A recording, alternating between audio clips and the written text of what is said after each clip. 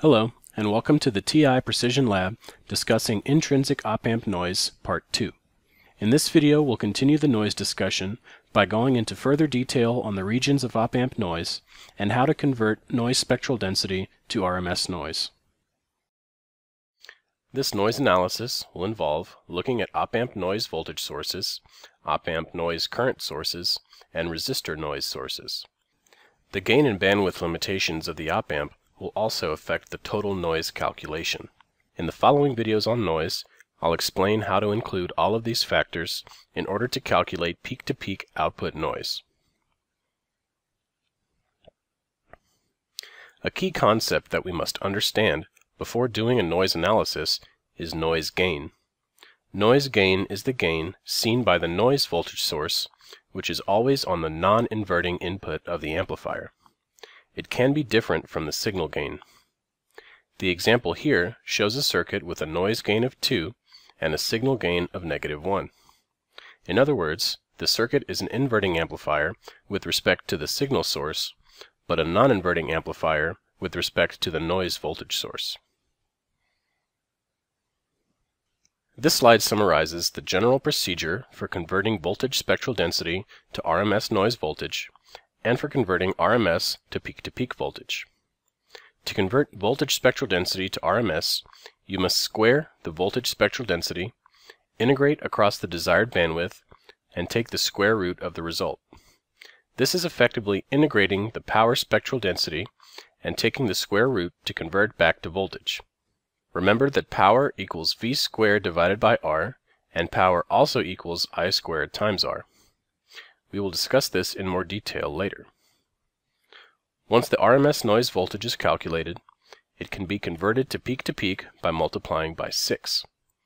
As discussed in the first noise video, the factor of 6 is a statistical estimate representing plus or minus 3 standard deviations or 6 sigma, and there is a 0.3% chance that noise will exceed the peak-to-peak -peak estimate at any instant in time.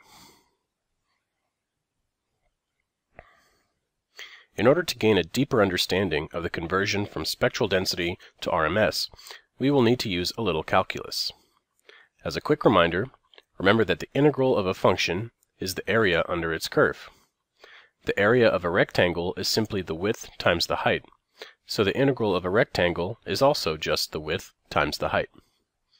This simple fact will be very useful in doing a dimensional analysis for noise. In this slide, we will reiterate the method for converting from voltage spectral density to RMS voltage. A common misunderstanding with noise analysis is that total noise can be computed by integrating the voltage or current spectral density, when in fact you must integrate the power spectral density. The example at the top of the slide shows what happens when integrating voltage spectral density. Remember from the previous slide that the integral of a rectangle is the width times the height, so in this case the result is 5 volts divided by square root hertz times 10 hertz. Notice that the units for this example are very unusual, volts times hertz divided by square root hertz. In fact, the units should just be volts. The point is that through dimensional analysis, you can see that integrating voltage spectral density directly is not the correct way to convert spectral density to RMS. The example at the bottom, on the other hand, integrates power spectral density. Again, remember that power is equal to V squared divided by R for voltage and I squared times R for current. When integrating power spectral density and taking the square root of the result, you get the correct units of volts. Thus, when computing total noise, make sure to integrate the power spectrum. Now that we understand how to properly integrate a spectral density curve, let's consider the different regions of noise. The spectral density curve has two distinct regions, the 1 divided by f region and the broadband region. In the previous presentation, we looked at 1 over f and broadband noise in the time domain. 1 over f noise occurs at low frequency and has a slope of 1 divided by the square root of frequency for both voltage and current spectral density. Remember that power spectral density is voltage spectral density squared, so for power spectral density, the slope of 1 over f noise is equal to 1 divided by the square root of frequency. This is where it gets the name 1 over f. Broadband or white noise has a flat spectral density. First, let's take a closer look at 1 over f noise. To get the total RMS noise associated for the 1 over f region, we have to integrate the power spectral density and take the square root of the result. Using this method gives the formulas shown on the right. Later on, we will discuss these equations in detail and work through a real-world example.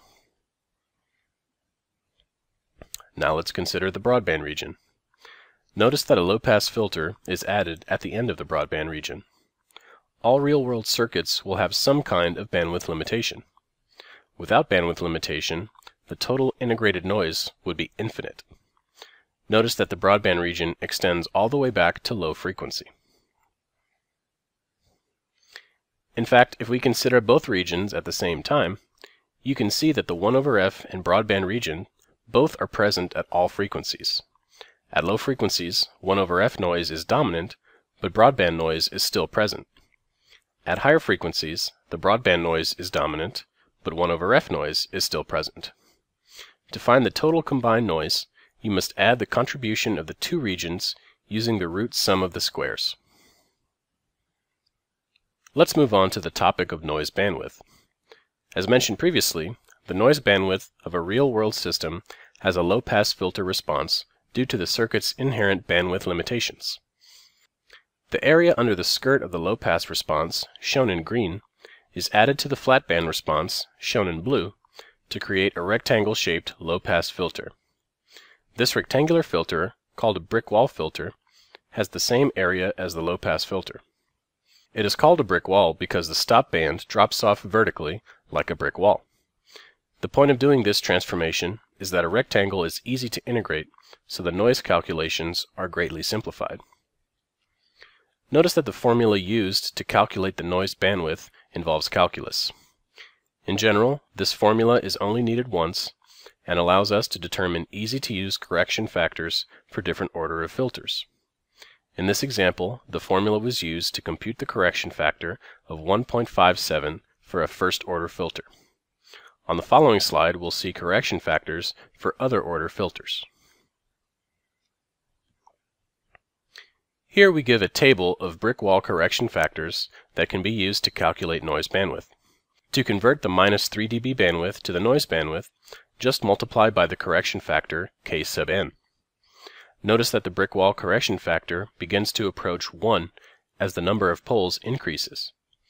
This makes sense since higher order filters have a steeper roll-off, more like a brick wall. One thing to consider is that gain peaking can affect the noise bandwidth, so in practical circuits, the actual noise bandwidth may differ somewhat. Now that we have the noise bandwidth relationship, we can use it to convert the op-amp noise spectral density curve to RMS noise. The first equation given in this slide is the noise bandwidth equation that we have already discussed. Simply use the table on the previous slide to select the appropriate value for k sub n and convert your signal bandwidth to noise bandwidth. The second equation on this slide shows how to convert spectral density to RMS noise. The RMS noise E sub n bb is calculated by multiplying the broadband noise spectral density by the square root of the noise bandwidth. The value for the broadband spectral density can be read from the spectral density curve given in the op-amp's datasheet. The relationship for converting noise spectral density to RMS noise is of key importance and should be memorized. It helps to remember the units when memorizing the formula. Spectral density in nanovolts per square root hertz is multiplied by the square root of noise bandwidth. The square root hertz from both factors cancels out so that RMS voltage has units of volts. Let's move on to the 1 over f noise equations.